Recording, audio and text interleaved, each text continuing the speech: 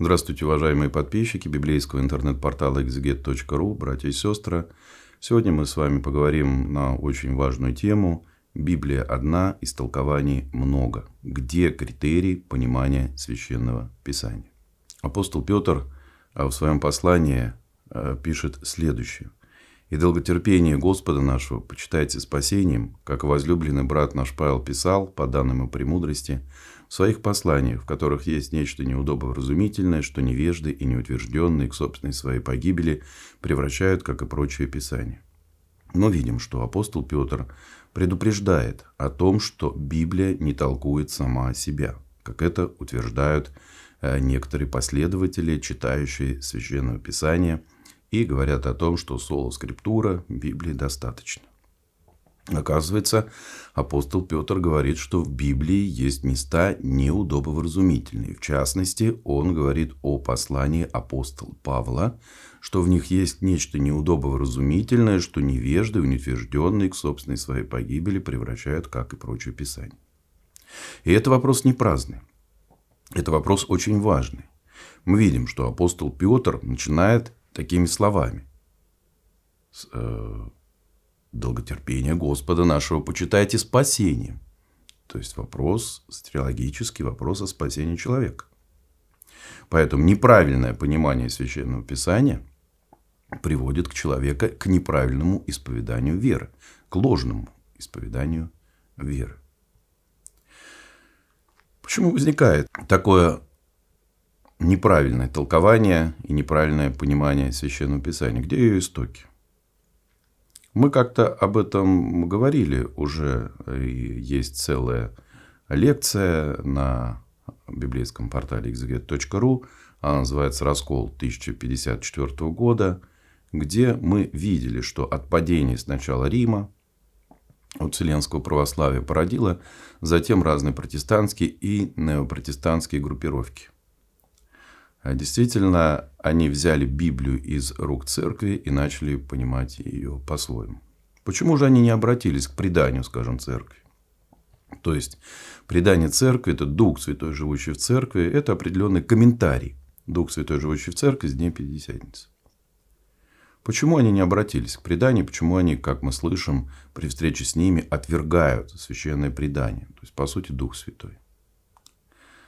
А, они читают тексты Библии и понимают по-своему. Какие? Ну, например, отвергая священное предание, они приводят текст э, Евангелия от Марка, 7 глава, где сказано о том, что однажды книжники и фарисеи обвиняли учеников Спасителя, что они не следуют ритуалу и преданию человеческому. И Спаситель их за это осудил. Это Евангелие от Марка, 7 глава, 8-9 стих. Он говорит, как вы держите предание человеческого, отменяя заповедь Божию. То есть, здесь Спасителем осуждается предание человеческое. Но в Священном Писании есть и другие тексты, говорящие о Священном предании. Например, апостол Павел в первом послании к Каринской церкви а, пишет об этом следующее.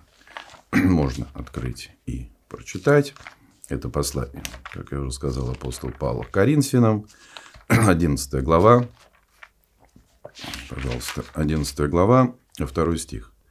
«Хвалю вас, братья, что вы все мое помните и держитесь предания так, как я передал вам». Иногда а, люди, оппоненты и самотолкующие Священное Писание по-своему возражают и говорят, что ну, это как раз 39 книг Ветхого Завета и 27 Нового. Не совсем так. Э, в послании апостола Павла к фессалоникийцам, во втором послании, апостол Павел пишет, пожалуйста, вторая глава, 2 фессалоникийцам, вторая глава, 15 стих. Итак, братья, стойте и держите предание, которым вы научены, или словом, или посланием нашим. Мы видим, что здесь есть три составляющие. Апостол Павел говорит преданием, словом и посланием. Что такое посланием научное. Это то послание, которое мы с вами прочитали. Что такое слово? Ну, можно сказать, что слово – это слово Божие. А что такое предание, о котором говорит апостол Павел с греческого парадосиса? Это Дух Святой, снова повторю, живущий в церкви, дающий возможность воспринимать Христа и Священное Писание, Божественное откровение в присущем Ему свете, то есть в Духе Святом. Здесь же апостол Павел пишет в 3 главе 6 стихе, можно прочитать, «Э, «Завещаем вам, братья, именем Господа нашего Иисуса Христа, удаляться от всякого брата, поступающего бесчинно, а не по преданию, которое приняли от нас». То есть, есть предание Дух Святой, есть Слово, Слово Божие, есть послание и другие книги Священного Писания. И всего этого необходимо держаться. Поэтому я спрашиваю часто у новопротестантов, тех же баптистов, адвентистов и пятидесятников, а как вы исполняете Слово Божие, вы говорите, что живете по Библии, когда вы не знаете о том, что такое предание, за которое апостол Павел хвалит, за, где он говорит, что вы им научены, и рекомендует отвращаться от всякого брата, который поступает не по преданию, который поступает не в Духе Святом, по сути, а на свое какое-то усмотрение, понимание божественного откровения. Это очень важный вопрос, снова повторю, не праздный вопрос. Касается дела спасения души человека. Понимание вопросов исповедания веры. Поэтому здесь есть над чем подумать. То есть, Священное Писание мы понимаем в свете предания. А где это предание? Часто спрашивают, что вы какие-то апокрифы хотите приклеить или что-то? Нет. Например, я наоборот вопросом, ну, здесь можно ответить на вопрос. Кто сказал, например, тем же баптистам и адвентистам, пятидесятникам, что Евангелие от Марка написал Марк? Там ничего такого нет. Евангелист Марк не начинает, не говорит о том, что я, евангелист Марк, пишу вам Евангелие. Нет. А кто вам сказал, что послание к евреям написано апостолом Павлом. Там тоже апостол Павел не подписывает это послание. И не говорит, я Павел собственноручно, как он делает в других посланиях. Это сказала церковь. А вот Евангелие от Фомы – апокриф. Евангелие от Андрея – тоже апокриф. Церковь отвергла. Еще в 3-4 века. Когда она утверждала канон Священного Писания. Поэтому тот канон, уважаемые баптисты, адвентисты, и прочие последователи, которые себя считают последователями реформаторского движения, вы приняли Священное Писание из рук церкви. Церковь сохранила полноту Священного Писания. Если бы мы, да, как утверждают, хотели бы что-то исправить, там мы бы исправили. Но мы сохранили так, как оно есть, как оно было с первых веков христианства. И утвердили. Церковь и утвердили канон. Поэтому что такое предание? Предание – это где оно зафиксировано, вот сейчас спрашивают. Оно зафиксировано у отцов и учителей церкви. Все говорят, ну вот, не называйте отцами. Слушайте, ну давайте читать внимательно Священное Писание. В этом же послании апостол Павел, Павел Каринской церкви сам себя называет отцом. А евангелист Иоанн э, в своих во втором и в третьем послании называет себя старцем. Но старцем не тем, да, который придумал человеческие предания, а старцем Божьим, а где апостол Павел называет себя отцом? Пожалуйста, 1 Коринфянам 4.15. Апостол Павел пишет. Много у вас наставников, проверьте. Да, можно открыть тут, пожалуйста. Много, говорит, у вас наставников, но не все отцы. Я родил тебя благословением святым. Вот. Наставников много, отцов немного. Поэтому отцовство – это рождение от благовестия Христова. И апостол здесь говорит, я родил тебя, что он отец. В этом смысле э, нужно сказать, что церковь давно определила, она еще задалась этим вопросом давным-давно. Еще на, четвертом, на пятом, шестом Вселенском соборе. Когда был определен критерий, то есть отцов и учителей церкви много. Учителей Тертулиан и другие отцы церкви. Афанасий Великий, Григорий Богослов, Иоанн Златоуст, Василий Великий и прочие. И церковь тоже определила, а где критерий? Вот один отец сказал так, другой чуть по-другому. Было такое? Было. В частной переписке где-то э, не то, что отклонение было от исповедания, но могло показаться, вырвав из контекста те или иные слова, что это какое-то отклонение от исповедания веры. И тогда отцы церкви на соборе, напомню, что собор – это голос Святого Духа. Это не просто конференция или референдум, или какое-нибудь собрание. Да. А где об этом сказано? Деяния апостолов. Э, помните, когда зашел вопрос, 15 глава. принимать, надо обрезываться или не надо, то было сделано 15 глава Деяния апостолов, 28 э, стих. Сказано о том, что они решили как вопрос. Извольте нам, святому, извольте Святому Духу и нам.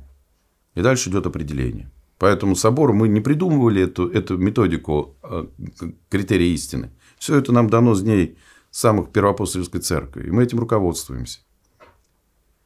И вот это важно. Было определено тогда на соборе несколько отцов. И сказали, вот эти отцы, это будет критерий.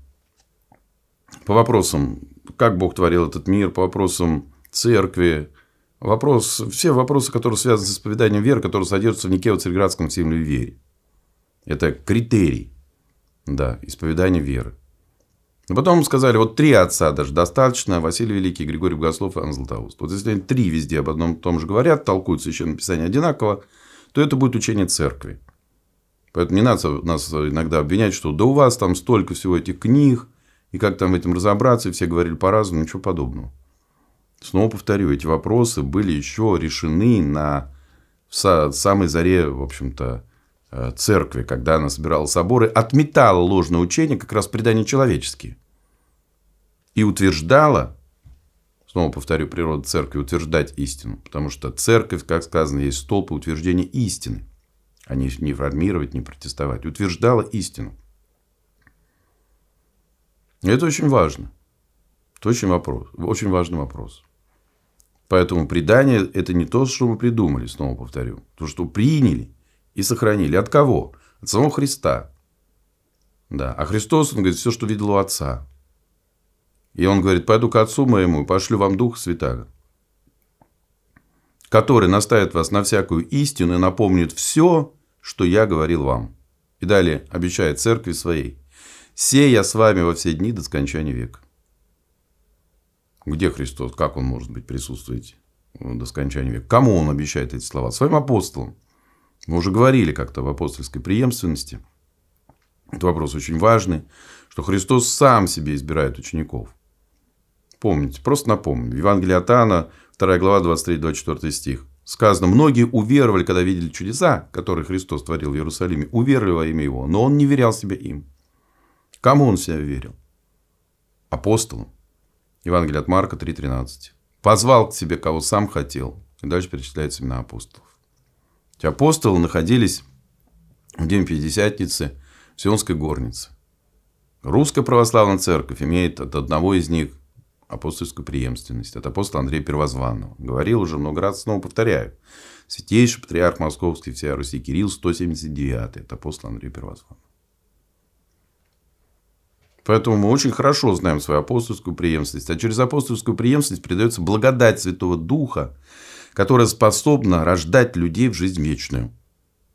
Об этом апостол Павел пишет во втором послании к Тимофею, 1 глава 6 стих. Своему преемнику епископу. «Возгревай дар Божий, который в тебе через мое рукоположение».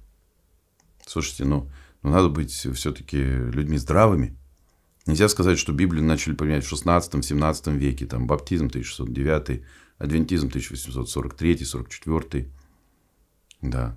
Там э, Пятидесятники 1901. Что, да, да, да хотя бы вот просто рассудить здравым смыслом, давайте посмотрим, а как раньше-то люди понимали Священное Писание? Неужели вы думаете, что эти люди думают, что вот они в 20 веке вылупились, да, а яйца курицы не учат?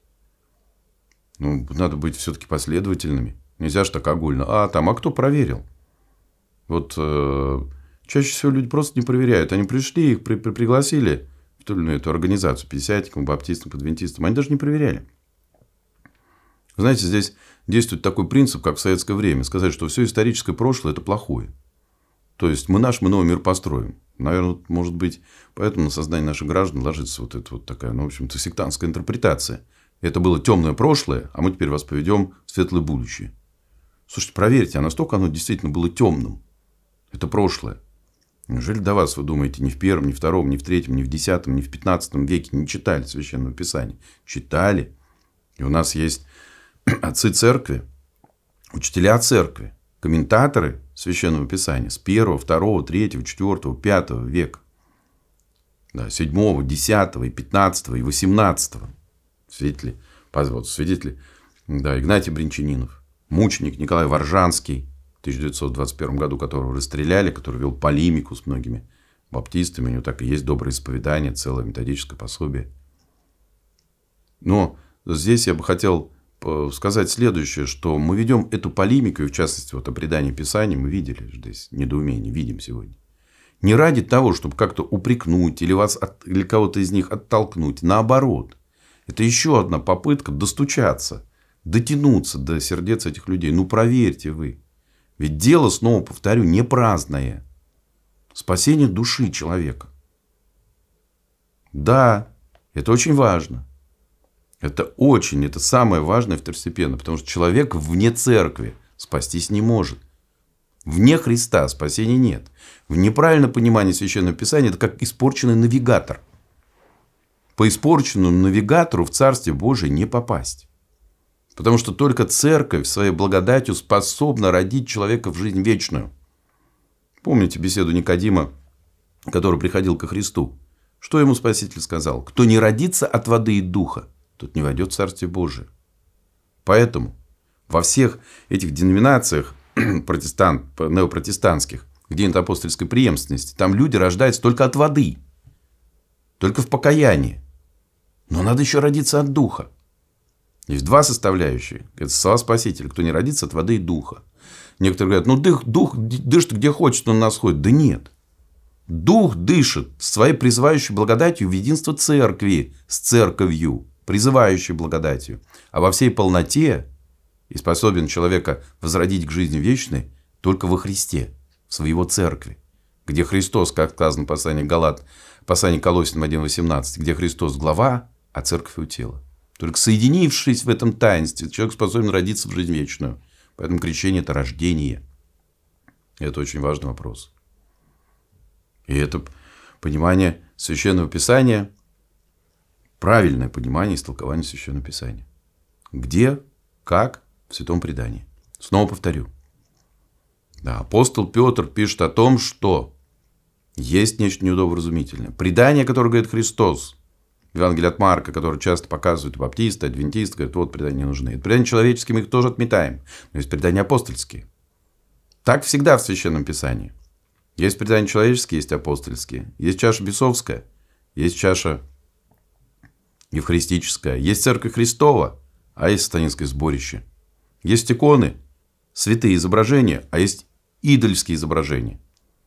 Всегда есть это разделение. Нужно уметь. Как сказано апостол Павел, у апостола Павла, посланника евреям, чувства должны быть навыком научены к развлечению добра и зла. Приглашаем, приходите в церковь и увидите. Как сказано, придите и видите. Яко благ Господь.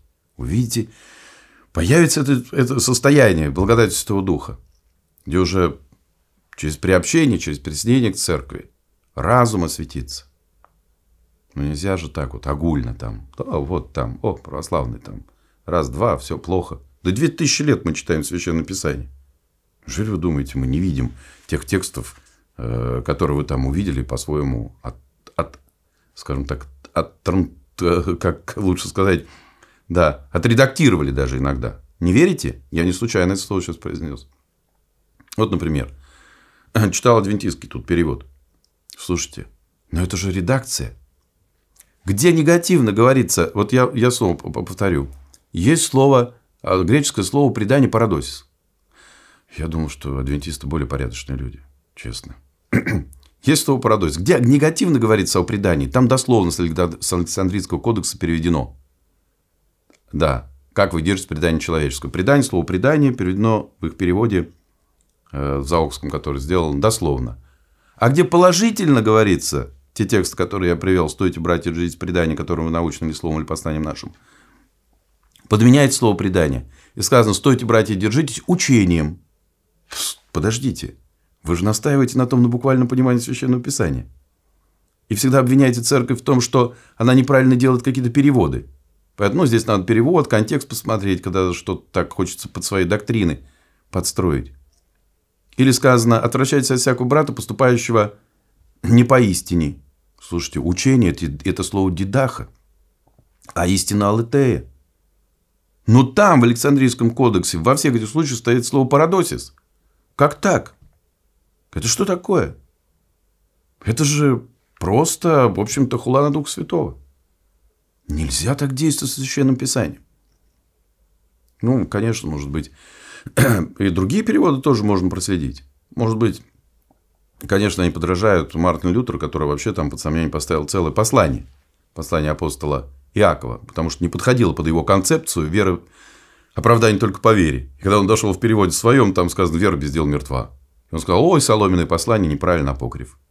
Выдрал целое послание из, из канона Священного Писания. Современные, да, неопротестанты не настолько решительные люди, но вот такие вот подтасовки есть, проверьте. И это лукавство. То есть, где негативно говорится, дословно переведено, а значит, они знают эти тексты. И поэтому взяли и подредактировали. Сравните с Александрийским кодексом. Люди грамотные. И вы поймете, разве можно лгать? Это на самом деле ложь. А ведь все они стремятся говорить о большой правде. Зачем же говорить о большой правде с маленькой лжи? Редактируя тексты в своем понимании. Поэтому будем помнить, что Церковь Святая Соборная Апостольская сохранила Священное Писание и сохранила правильное его понимание для того, чтобы человек руководствовался Священным Писанием в правильном понимании, понимании делом своего спасения. Как сказано, со страхом и трепетом совершайте дело вашего спасения. Внеси свой вклад, оцени, подпишись и поделись этим видео.